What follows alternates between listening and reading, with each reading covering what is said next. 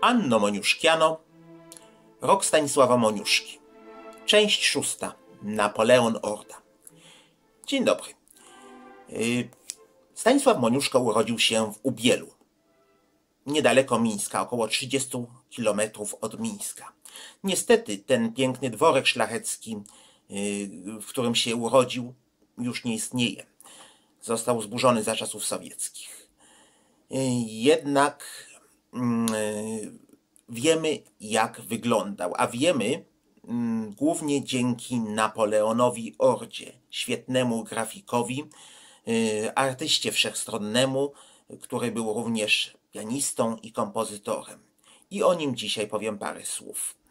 Y, To właśnie Napoleon Orda sportretował, namalował na swoich litografiach dworek y, Moniuszki wiele, wiele innych dworków, zamków i pałaców y, z Białorusi, Ukrainy i z całej Rzeczypospolitej. Napoleon Orda urodził się w roku 1807 y, i no, był od Moniuszki y, 12 lat starszy.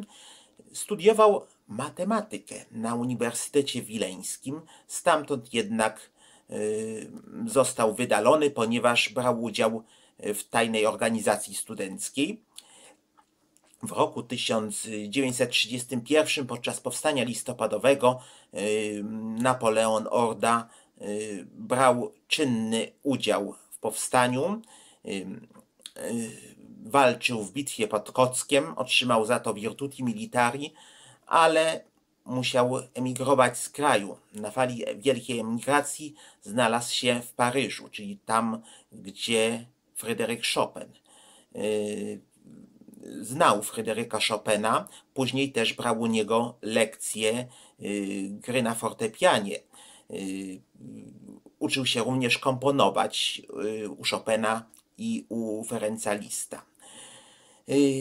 Kiedy zamieszkał w Paryżu w roku 1833, rozpoczął też studia plastyczne u Pierre'a Girarda, grafika francuskiego. Y, Razem z żoną w Paryżu prowadził y, dom komisowy. Przez pewien czas był również dyrektorem opery włoskiej y, w Paryżu. Dopóki nie została ona zamknięta, a stało się to zaraz po rewolucji y, lutowej y, na fali y, wiosny ludów w roku 1848. Y, w roku 1856 y, Aleksander II ogłosił amnestię dla powstańców. Napoleon Orda wrócił do Polski y, i tam na początku został guwernerem e, u Adama Rzewuskiego, a później zaczął podróżować, podróżować, podróżować po całej Rzeczypospolitej, a zwłaszcza po terenach kresowych, po Białorusi i Ukrainie, gdzie y, szkicował, malował i swoje grafiki wydawał głównie y, w pracowni y, y, Maksymiliana Fajansa, gdzie były one odbijane w dziesiątkach egzemplarzy. Jest autorem ogromnego cyklu grafik, ponad tysiąca grafik, akwarel, litografii, które miały na celu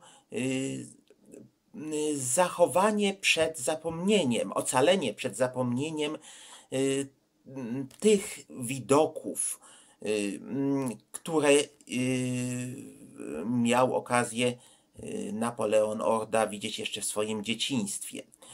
Chodziło tutaj o różne dworki szlacheckie, zamki, pałacyki, kościółki, pejzaże wiejskie z całej Rzeczypospolitej a zwłaszcza z terenów, y, z terenów rodzinnych y, y, Napoleona Ordy.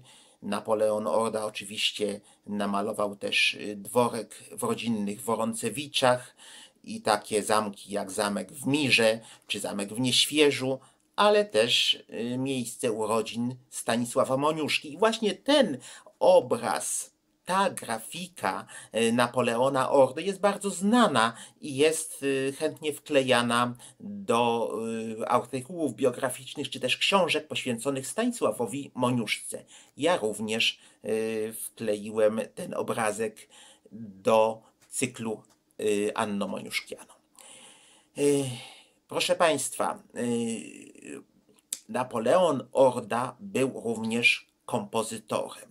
Y, uczył się przecież y, u Chopina, uczył się u Lista, kochał muzykę, grał na fortepianie i komponował. Komponował zwykle takie salonowe utwory fortepianowe typu nokturny, walce, polonezy, mazurki i w tych utworach też słychać taką tęsknotę y, do y, Polski, z której przecież musiał na wiele lat wyjechać. Y, utwory Napoleona Ordy są prawie nieznane w Polsce. Mówię tutaj o utworach muzycznych. Nie spotkałem się jeszcze z żadną płytą, gdzie jego utwory yy, zostałyby wykonane, przynajmniej w Polsce, ale ostatnio znalazłem płytę poświęconą dwóm kompozytorom. Są to Napoleon Orda i Stanisław Moniuszko na jednej płycie. Jest to płyta wydana yy, na Litwie. Yy, szkoda, że jeszcze w Polsce yy, utworów tego kompozytora nie wydano. Co też zauważyłem, Napoleon Orda jest bardzo znany i ceniony yy, na Białorusi. Tam w Woroncewiczach, czyli w niewielkiej miejscowości, właściwie na wsi, znajduje się Muzeum Napoleona Ordy. A jego jego y, litografie są niemal kultowe.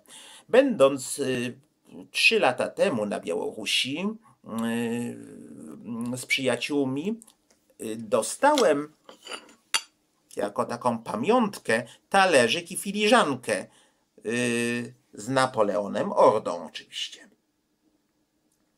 Bo on był właśnie z tamtych ziem. Tutaj jest filiżanka i jego dworek w Woroncewiczach, jeśli się nie mylę. Napoleon Orda w swoim monumentalnym cyklu obejmującym ponad tysiąc grafik y, malował jednak także y, zabytki z całej Rzeczypospolitej, y, w tym różne dworki, kościoły, katedrę w Gnieźnie, różne ruiny, więc troszkę szkoda, że nie jest on może zbyt y, rozpoznawalny w Polsce. Jego nazwisko nie jest aż tak bardzo znane y, jak na Białorusi. Y, tym bardziej jego twórczość muzyczna jest zupełnie u nas zapomniana. Ostatnio jednak odkryłem ciekawe nagranie w internecie, mianowicie Uład Handohi, dziesięcioletni uczeń szkoły muzycznej z Mińska, wykonuje Nocturn Esdur Napoleona Ordy. Brawo i gratulacje. Też zdziwiłem się, że Białoruś pamięta o muzyce tego zapomnianego w Polsce kompozytora uważam, że takich właśnie prowincjonalnych kompozytorów, którzy często y, napisali wiele ciekawych rzeczy, spoczywających pewnie w przepastnych archiwach bibliotek, należy odkrywać na nowo. Oczywiście dam link do tego nagrania. To jest kontynuacja tradycji szopenowskiej. I Moniuszko też w swoich utworach fortepianowych się w nią wpisuje. Napoleon Orda y, był wybitnym akwarelistą, grafikiem. Y, był też pianistą, kompozytorem. Jego twórczość musimy jeszcze ocenić, bo pewnie coś tam w przepastnych archiwach bibliotek spoczywa.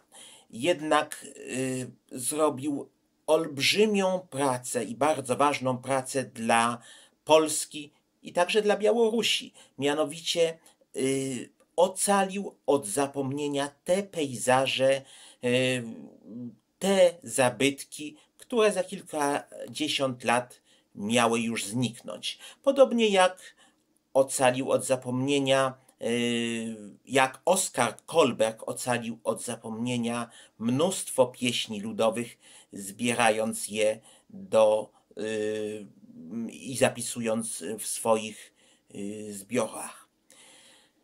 Proszę Państwa, to tyle, jeżeli by chodziło o Napoleona Ordę. Ja przypomnę, Napoleon Orda jest wciąż obecny yy, również kulturze takiej pamiątkowej. On mieszkał w Woroncewiczach. A w następnym odcinku yy, zastanowimy się nad innymi postaciami związanymi z Białorusią, nad yy, Moniuszką i yy, Wincentym Duninem Marcinkiewiczem, jednym z białoruskich pisarzy i poetów okresu romantyzmu. Dziękuję.